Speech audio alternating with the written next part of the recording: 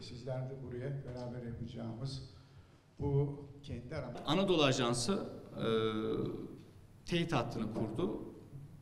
E, yeşil hattı kurdu bu yakın dönemde. Bir de çevre, e, bir de ayrımcılık hattını kurdu.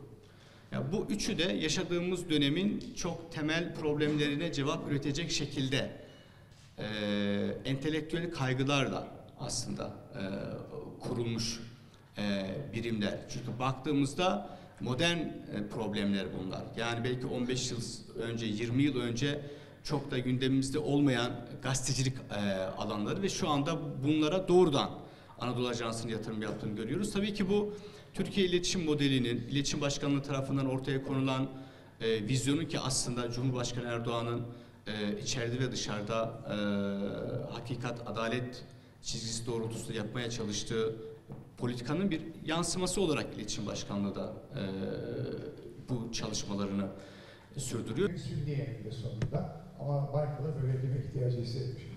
Evet, e, şey, Gerçekten ya bizler ciddi anlamda hepimiz saldırı altındayız. Yani yalan içerik, sahte içerik artık adına ne dersek diyelim böyle bir saldırı altındayız. Ve maalesef çoğumuz da bunun bir parçası. Yani gazeteciler, meslektaşlarımız veya çeşitli pozisyonlarda çalışan insanlar olarak da bu sektörün içerisinde eee, yaşayıp biraz da onun parçası eee olduğunu söylememiz lazım.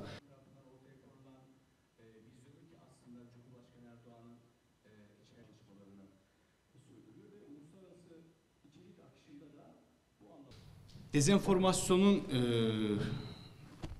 şimdi üretilmesi sürecinde e, nefret söylemi çok temel bir belirleyen olarak karşımızda yer alıyor. Yani kişilerin diğer kişilere karşı duyduğu nefret söylemi, grupların diğer gruplara karşı duyduğu nefret söylemi, siyasetçilerin diğer ya da siyasal ideolojilerin diğer siyasal ideolojilere karşı duyduğu nefret duygusu,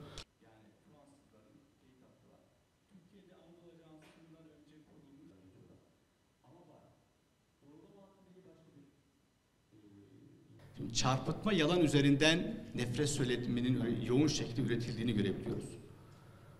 Yani her 100 nefret söyleminden 47'si çarpıtma yalan başlığı altındaki çarpıtma yalan da doğrudan aslında dezenformasyonun eee, kendisi.